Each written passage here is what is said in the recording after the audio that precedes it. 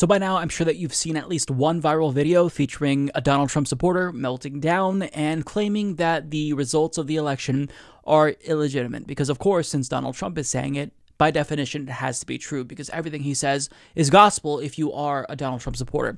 Now, listen, I think that most people who support Donald Trump, they probably have already reckoned with the fact that it's over for him, but there's a portion of the population who support Donald Trump who are diehards. They're part of this MAGA cult, and anything that he says, they think it basically is as good as gospel. And I don't mean that to be hyperbolic. I mean that because they hang on every single word that he says. So if the president says, this election was fraudulent, even if there is zero evidence, they're going to regurgitate exactly what he says. So we've seen the videos, but we haven't really seen anyone speak to these people and ask them why they think this election is fraudulent. And this video from CNN features a reporter who actually went to one of these so-called Stop the Steal protests and talked to them. And um, I want to see what they have to say because I think this is important. Um, these are folks who actually believe the election was stolen. So when they're asked for evidence, what are they going to say? So let's see.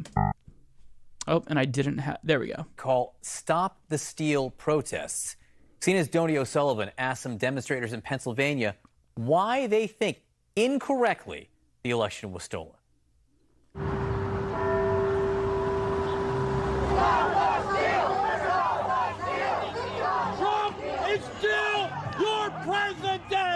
It's legal for them to count votes in Pennsylvania two days after the Yes. election on November 3rd. Yes. Yes. You're wrong. Go. I don't even want to talk to you. She doesn't even want to hear facts. Okay, if it takes them a while to count the votes, are you honestly proposing, lady, that we throw those votes out? Like, do you want to throw them in a dumpster, burn them? What do you What do you propose we do with them? This is what we always fucking do. It's not unusual to take time counting the votes. Sometimes it takes a while. It's going to take longer because there's a lot of mail-in ballots. We're pretty quick at counting them in Oregon because we've been doing it here for years. But I mean, no state certifies the results of the election right away. It takes a while. So the fact that you're proposing that it's nefarious that they're counting the votes and it's taking time, I mean, this lady is just stupid. I'm sorry that sounds crass, but she she drank the Kool-Aid. There, she's too far gone. There's no turning back. She's literally angry that the votes are being counted. That's democracy. That's democracy. I don't know what you expect, lady. That is fucking democracy. And to even like tell her otherwise is absurd. Like she she brushes you aside. She doesn't even want to hear it. You can't get through to people like this. You you just can't. I believe that Donald Trump won the election. I believe that they Facts don't care about your feelings, snowflake. tried to steal the election. Evidence, evidence, anything. Cite something. They got jack shit. Stop the Steal, a movement of Trump supporters that gained hundreds of thousands of followers online in the hours after the election, has inspired protests across the country. It's funny. I wonder do these people think that Republicans stole the House and the Senate, or is it only a stolen election because it's one that didn't go their way? Like, did Democrats just rig it enough to steal the presidential election, but didn't bother to steal the House? I mean, they lost ground in the House. We don't know if Democrats are going to take control of the Senate. Uh, Democrats lost in a key state against Mitch McConnell. I guess they forgot to rig that one. Is it only a rigged election if it doesn't go your way? Like, I'm just curious because there's zero evidence, zero evidence that it's been stolen. They're just citing what Donald Trump said as evidence. And that's not evidence because Donald Trump can't even articulate why he believes the election has been stolen. All of a sudden, now we're hearing about all of these illegal votes that have been cast. What is an illegal vote? What does that mean? He's implying that, oh, well, dead people are voting. No, that's not happening. The voter fraud rate is 0.0025%. It is statistically insignificant.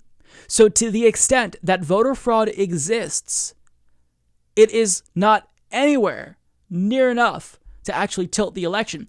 And the reason why voter fraud isn't a common phenomenon is because like there's very little payoff. It's a felony. So you're going to commit voter fraud to get like an extra 3 votes for some shitty politician? Who's going to who's going to want to do that? I mean it happens once in a while, but it's not like it only benefits Democrats. Sometimes Republicans commit voter fraud, but I don't even worry about that because, again, the number is so small that it is statistically insignificant. So this is not an issue. Voter fraud is something that Republicans talk about because they want to use it as a justification to do voter suppression, limit the number of polling stations, purge people from the, vo- the voting rolls illegally. That's what this is about. And these suckers eat it up because they don't know any better. The ballots that you said you saw are lying around the place or in trash cans or whatever. He says that he saw ballots. Okay, did you take a picture? I'm assuming you have a smartphone with a camera. You didn't take a picture of this? You could be showing this reporter. No, you you saw the ballots though. Okay, I saw a unicorn yesterday. Just believe me. I didn't take a picture, but believe me. That's not evidence. These people are so frustrating. Where are you hearing that from? Oh, I mean, it's the videos are going viral everywhere. Uh, I've seen them on TikTok. I've seen them on Facebook. I've seen them on Fox News. I've seen them on the local news. What are in these videos? Describe them. Now, I know that he's going to refer to the uh, bag of ballots that were being burned. Uh, Trump Jr., or maybe it was Eric Trump, shared that video. Uh, these are not real ballots. These are sample ballots or fake ballots. They're not real ballots.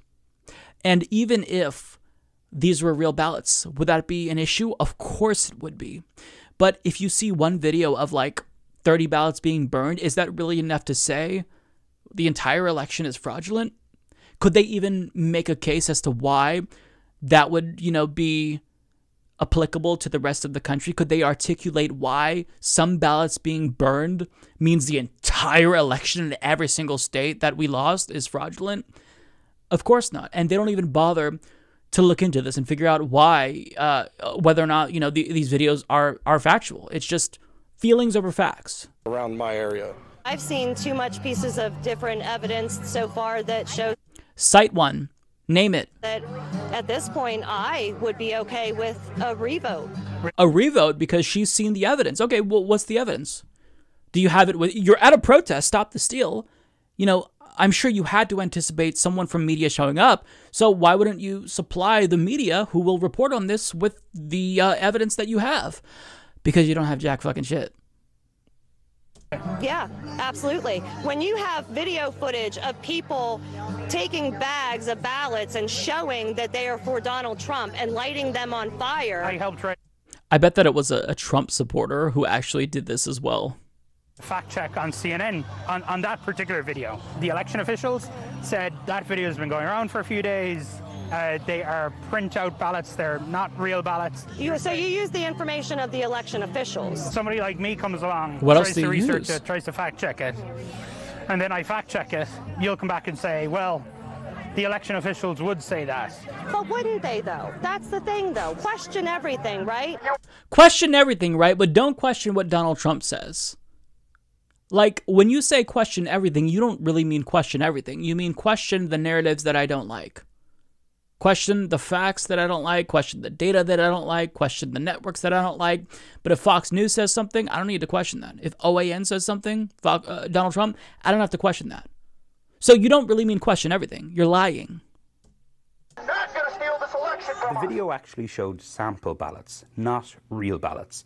The video's assertion is false but even the president's son tweeted it to his millions of followers.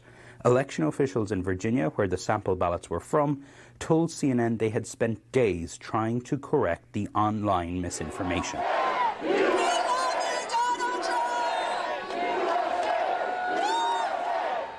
When we went to bed on election night, when they told us they stopped counting, we woke up and there was a vertical spike right for Biden 130,000 votes approximately. That's when I knew there was a problem. Now- Okay, so I'm guessing that he's talking about mail in ballots, but Donald Trump for months has been saying that mail in ballots are insecure. They're sending them out unsolicited, so it's not safe to vote by mail. So is it really surprising that in these states where they count the mail in ballots after the in person votes, that most of those mail in ballots are from Democrats because Donald Trump has conditioned Republicans to not want to vote by mail.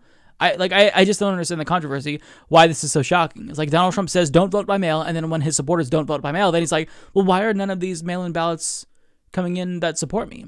And when he says, "Oh, well, what about the military ballots that are by mail?" Like mail-in ballots are still ticking up for him. It's just that Joe Biden has more of them. So I just I just don't I don't understand where this is coming from. And I think that really what this is about is their emotions. They don't want to believe the results. This is cognitive dissonance. And since Donald Trump said it's been rigged, then they're like, oh, that's fucking good enough for me. Donald Trump can tell me that the sky is uh, green, and I believe them because Donald Trump would never lie to us. He's only lied about like a million other things, but Donald Trump wouldn't lie to us. As my buddy Steve Bannon says, if you're going to lie, be believable about it. As your buddy Steve Bannon says that, don't you think that Donald Trump would um, be uh, trying to do a little bit more believable lies? I mean, again, what evidence has he put forward that this election has been stolen? He has presented us with no evidence. The lawsuits that he is uh, filing have been thrown out across the country. He's had some victories on inconsequential procedural grounds that aren't going to change the result. So, I mean, if you're going to lie, yeah, be believable. Come up with some fucking evidence. Because you do not have 138,000 votes come in, and 135,000 of them come in for Biden. This is what I think you guys might have been talking about on on election night, Michigan, 138,000. This was from a website called Decision Desk HQ. They came out and they said, we messed up. There was an error in how votes came back and reported, yeah. and that's why there was this spike in the map. Yeah. Uh, but you know, the election officials uh, in Michigan then all confirmed to say yes, there was this error. They are not real ballots. Those ballots never existed. President. Trump. If you saw, I don't know, um, they were holding up an Infowars. Yeah, a little Infowars uh, sticker right there. Uh, so these people get their news from a website who thinks that uh, chemicals in the water is turning the frogs gay, uh, who literally believes in reptilians, that they're living among us and they're wearing the skin of uh, human beings, and there are politicians. Um, InfoWars host Alex Jones brought someone on the program who detailed a really extensive pedophile ring uh, that's happening on Mars. Like children are taken to Mars to be assaulted. Like this is this is the source that we're citing, Infowars. Again, like these people don't you can't fact check them because when you're trying to present them with facts and evidence or just clarify things, they already made up their minds. Like th- this is all about their feelings, and they don't want to accept that Donald Trump lost. Now, again, I don't think that most Trump supporters are like this. I think this is probably a very vocal minority. Um, but still, you know, to have this much people think that the election was stolen all because the Trump, the president tweeted this is a little bit alarming. Never existed. President Trump himself even shared a post about the Michigan error. Twitter labeled his post as misinformation.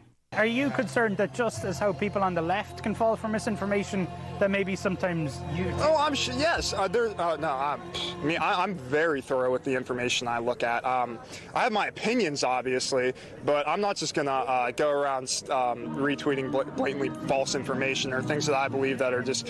It's just. I look at things that are suspicious. Some people at the protest told us the delays in news outlets projecting a winner contributed to their belief that Biden stole the election. Put America first, or else it's going to be America last. You don't think there's any way Trump? I just want to point out that this reporter is the only one basically wearing a mask. Last. Yikes. Really? Yes. How do you go from almost losing 200,000 in five hours, you're down to 30,000 votes away from winning. A lot of Democrats voted in the mail, they voted absentee, they voted before uh, election day. And in a lot of states, those election day votes got counted first. That's why Trump had that early lead. And then once those other votes started getting counted, that is how Biden caught up and, and So overtook. where are all the Trump ballots that were mailed in? Well, uh, why are we finding them laying around in different places? But Where are you finding them? Everybody not to mail it in, right? That's why there's so much more mail-in Democratic Nah, votes, no? No. it doesn't matter what you say to them. When you ask them for evidence, they can't say anything. When you present them with a reason why things are happening the way that they're happening and explain that it's not nefarious or sus- suspicious, they still reject it. It's a lost fucking cause.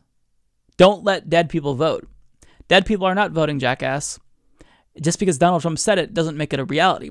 And they point to, uh, you know, dead people voting. Uh, the evidence for that is basically, oh, well, there's dead people on the voter rolls. Right. The voter rolls get purged on a regular basis. When people die, they get taken off the rolls. They don't vote. It's ridiculous that they say things like this. Um, it, it just it makes them look very stupid and ignorant. Claims alleging voter fraud spread on social media. Facebook and Twitter labeled some as misinformation. I think that's wrong. I think I, that's not their place. We're like one big science experiment for social media. If I'm seeking a, a certain viewpoint and I seem to, and they seem to see that I favor that viewpoint more, that's the viewpoint that they're going to feed me. And then the other side's going to get a different viewpoint. Does that concern you as a Facebook user? I mean, it concerns me, yes, because of the fact that unfortunately people fail to think for themselves. They feed into everything that they're seeing without questioning it.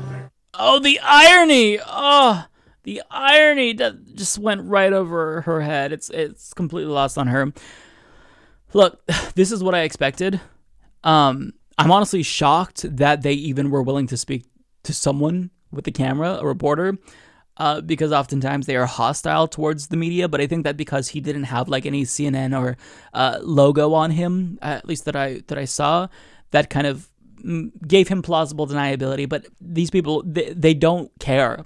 Like they've come to the conclusion uh, based on their emotions, not on facts. So presenting them with that evidence, like it's not going to do anything because this isn't a group of people who are operating, you know, using logic or they're not persuadable. It, it doesn't matter what you show them. It doesn't matter.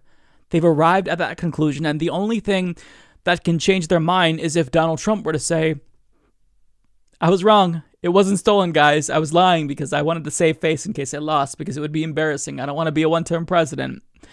But he's not going to do that. So, um, as a result, these folks are going to believe everything that he says because they hang on to every single word that he says because this is a large fucking cult. And, um, yeah, that's. That's that. There's nothing left to say about this. It is super depressing that we have so many Americans in this country who literally could not care less about facts or data and evidence. But if you if you ask them about that, they'd say, "Oh, well, no, no, you don't care about facts. The fact is that this election was stolen. So we're like living in George Orwell's 1984. And um, if I say that, they would cite Orwell and that I'm the reason why we're in George Orwell's 1984. Like, words don't mean anything. We're in a post factual era. The best that we can do is hope that people come to their senses and try to not be so gullible and duped by politicians who don't care about them. They just care about their own asses. And until that happens, um, yeah, we're going to get situations like this where we have the dumbest people rise to power and they still have this like huge base of support that's incredibly enthusiastic and will never abandon them no matter what. It's it sucks, but um, you know, it's a fact of reality. So, yeah. Mike is a total loser, so don't hit the subscribe button, okay? And whatever you do, folks, do not hit the notification bell either. Mike treats me so unfairly.